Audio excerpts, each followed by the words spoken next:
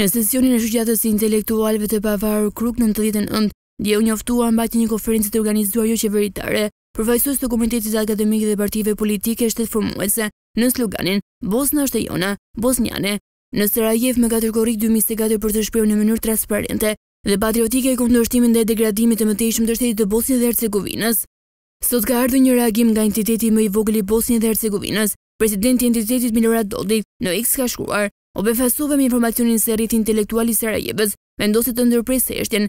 se gjetën forcën për të organizuar një konvent, e cila do të jetë në shenjë të vendosmërisë, vizioneve të qarta dhe angazhimeve politike ndaj publikut vendas dhe ndërkombëtar dhe ndaj aktorëve politikë të brendshëm dhe të jashtëm, do të thotë se do të deklarojnë që është mjaft ndërhyrja e huaj, manipulim nga ambasadorë të huaj, imponime, pezullimet e institucioneve nga individë jolegjitim, veprimi i paligjshëm, degradimi i sistemit të vendimmarrjes. do të angazhohen për respektimin e Kushtetutës dhe strukturës së Dejtonit të Bosnjë dhe Hercegovinës për të drejtat e barabarta për serbët, boshnjakët dhe kroatët për t'u lavdëruar.